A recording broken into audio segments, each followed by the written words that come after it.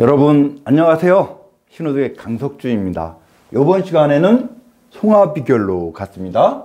아무튼 그 전에 한번 풀어봤지만 한반도의 미래 운영을 예언한 거가 있는데 이것이 어, 내년과 그러니까 2024년에서 이렇게 시작되는 미래 운영이라고 합니다. 어, 2025년 이렇게 그러면서 앞으로 더 나가는 거죠. 자, 그러면 여기서 한번 읽어보고 풀이해 보도록 하겠습니다. 대해, 대도, 천화, 득풍, 여마동천, 벌목, 정정, 이국천도, 수정, 위려, 민천지리, 열이, 박빙, 조편, 무인, 세행, 독질, 인령, 다상, 화천이신, 상살, 개망, 송화유돈, 황백, 분설, 거양, 귀향, 병화, 불란, 송화유돈, 백광, 참옥, 좌우, 충입, 해월, 급변, 가기, 국상, 역신, 회두, 국사, 번요, 혁명, 방군, 병성, 경도, 박이, 평정 이렇게 되어 있습니다. 자 그러면 위에서부터 하나하나 풀어보도록 하겠습니다. 대해, 대도 큰 바다는 어디가 있습니까? 바다 중에서 가장 큰 곳이 태평양이죠. 태평양입니다. 그러면 태평양의 큰 섬이다. 그러면 여러 개가 있죠. 뭐 필리핀, 저 밑에 말레이시아, 뭐, 어? 그 다음에 일본. 그러면서 대만인데 여기서 두루 대만을 주목하고 있는 것 같아요. 대해대도 큰 바다에 큰 섬이 천하득풍 하늘의 불이 뭐를 얻었다? 바람을 얻었다. 그러면은 더해진다, 가해진다, 악셀을 밟다, 그쵸? 거세진다 이런 뜻입니다. 여마 동천 화염으로 하늘을 동했다 이것입니다. 그런데 여기 보십시오. 벌목 정정 이런 여마 하늘의 불이 이렇게 움직이는데 벌목 정정 벌목은 알겠죠? 벌목한다 나무를 치는 거죠. 그렇죠? 그러면 벌목 정정인데 정정이 두 가지가 있습니다. 이것을 사람들은 두 사람으로 봅니다. 두 사람이 벌목을 한다. 그러니까 친다 이거야. 그런데 저는 이렇게 해석하지 않습니다. 제 해석은 다릅니다. 여기 볼까요? 1번을 보니까 이 정정이란 뜻이 정이 장정이란 뜻도 있지만 남쪽 그 방향을 말하기도 합니다. 그러면 정정이라는 것은 남쪽의 장정 그러니까 남한에서 나온 남자 장정을 말하는 것입니다. 그러니까 남쪽에 있는 장정이 쳐버린다 이거야. 어? 자 이렇게 보고 있습니다. 그렇다고 두 사람이 벌목을 한다. 이게 틀렸느냐? 직독직해 하면 그렇게 나옵니다. 자, 하지만 저는 이게 더 어, 반듯하다. 이국천도 다른 나라가 한양을 옮긴다. 수도를 옮긴다 이거죠. 왜 옮기겠습니까? 아무튼 수정, 위려 이렇게 고쳤으나 위태롭기가 한이 없다. 마음이 불안하다 이런 뜻입니다. 그러면 마음이 불안하다 이런 막 천도하고 마음도 불안하고 어? 위기에 쌓였고 이것을 뭐라고 합니까? 혼란, 대환란 그쵸?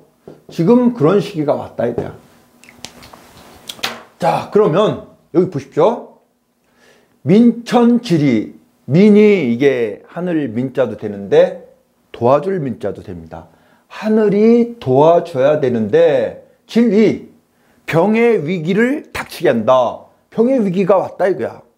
응? 도와줄 하늘이 오히려 병으로 사람을 친다 이거죠. 그런 위기가 왔다. 그래서 열이 박빙. 그래서 박빙 얇은 얼음, 살얼음판을 걷는 듯 불안하다. 그러니까 불안한 시기니까 혼란, 대환란 이것을 아노미라고 하죠. 아노미. 응? 어떻게 되나? 아노미가 뭡니까? 기존 질서가 무너졌는데 새로운 질서가 나타나지 않았다. 다 포함됩니다. 대환란 시기가 왔다. 어, 조편무인 빨리 고치려 하지만 이게 무자인데 없을 무자입니다. 사람이 없다 이거야. 생 득질.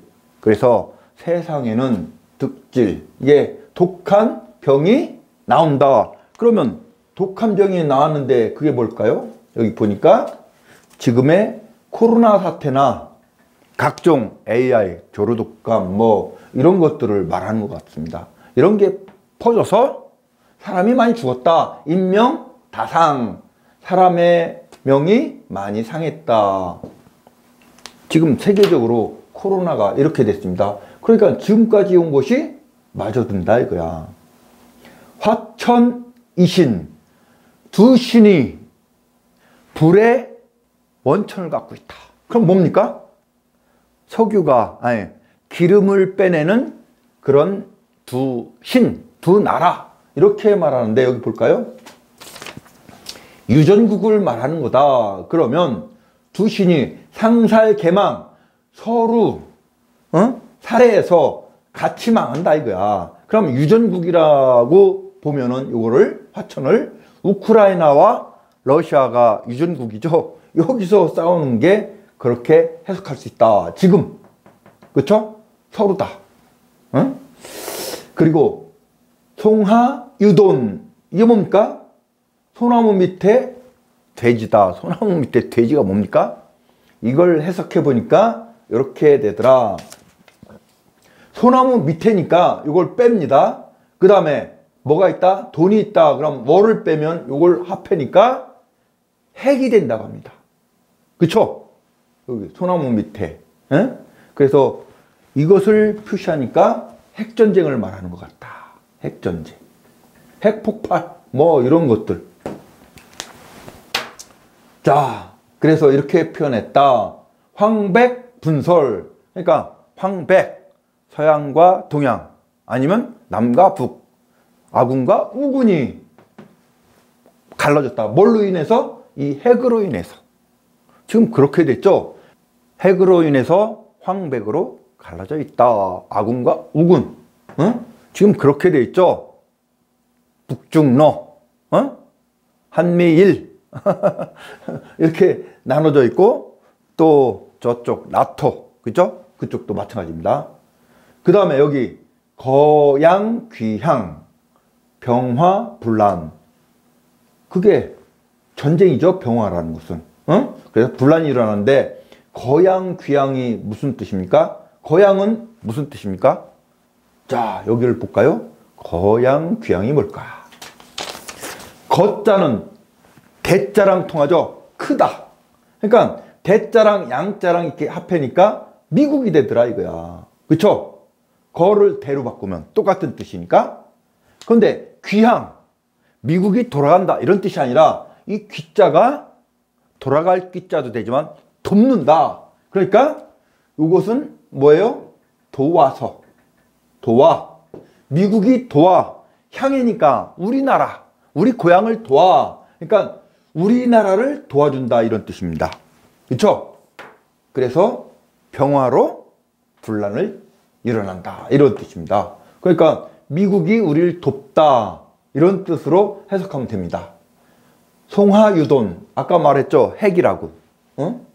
백광참호 그러니까 이 송화유돈이 백색 빛을 반짝 내는데 뭐예요?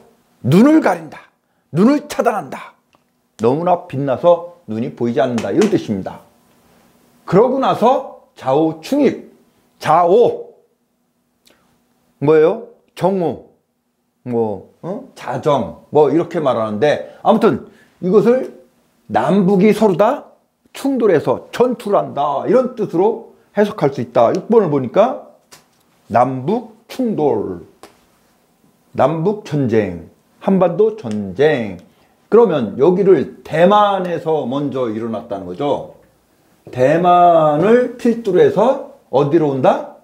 여기 한반도로 온다. 이런 뜻입니다.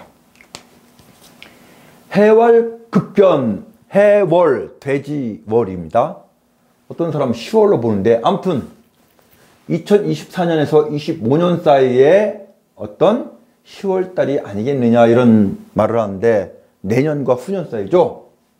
각이 국상. 아니 국상이 일어난다는 거죠. 국상이 일어난다는 것이 뭡니까? 백성이 많이 다치는 것입니까? 아니면 리더자가 죽는 것입니까? 여기에 리더로 볼 수도 있습니다.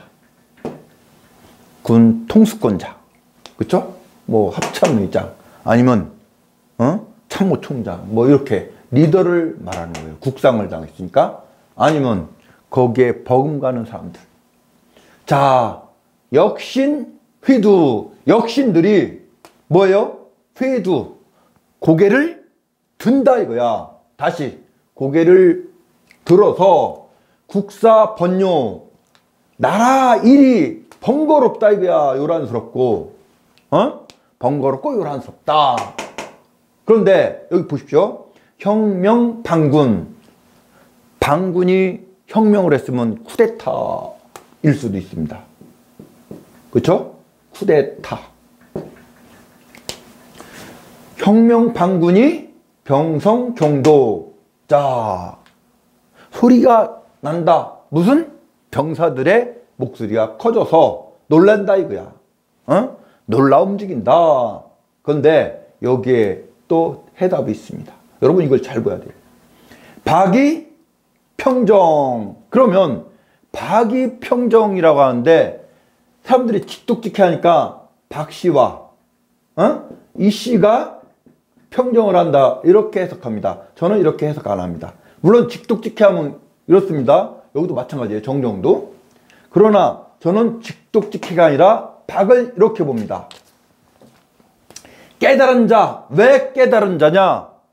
우리가 바이칼 호수에서 이 바이칼이 이게 뭐냐면 밝은 뭐라고 했어요? 고기라고 했죠? 호수라는 뜻입니다. 이게 뭐예요? 깨달았다. 그래서 이 바이칼이 박입니다. 박. 그러면 이 박다랑도 통해 있다. 그런데 이 박은 박씨냐? 이게 아니라 나무에 외피를 뚫었다 그러니까 깨달은 자입니다. 독각사를 말하는 거예요. 그래서 깨달은 자를 박이라고 한다. 그걸 성씨에다 넣어서 그렇지 원래 깨달은 자를 표현한 것이 박이다. 자, 이 시는 뭡니까?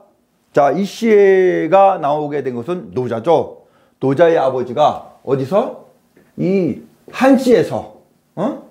한시에서 이 시로 바꿨습니다. 그런데 이 한씨는 어디랑 통해 있습니까? 요 순에서 순임금과 통해 있다. 그래서 우리가 한국이다 이거야. 그러면서 무궁화랑 통한다. 그러면 순임금은 누굽니까? 단군파죠. 강강술래주입니다. 자, 그래서 이렇게 나온 건데 아무튼 이, 이 씨가 뭐냐? 이 씨가 아니라 목자다 이거야. 목자인데 목은 뭡니까? 동이족, 강강술래족 여기를 말한다. 그러니까 자는 뭡니까? 천손이다 이거야. 그래서 있는 그대로 직독직해 하면 박씨와 이씨가 평정한다. 여기 두 장정으로 표현하면 그렇게 연결됩니다. 하지만 두 장정이 아니라 이것을 속을 깊이 들어가 보니까 숨어 있는 것이 남쪽에 있는 그러니까 남쪽에 있는 남쪽의 장정이다 이거야. 남쪽의 남자가 그가 누구다? 깨달은 자, 독각사다 이거야. 그 다음에 천손이다 여기 보면 홀로 깨달은 독각사, 깨달은 천손이 나와서 평정을 한다 이런 뜻입니다. 자 여러분 제가 해석한 게 100%냐 그렇게 말은 못합니다. 왜냐하면 저는 한자를 전공한 사람도 아닙니다. 그죠?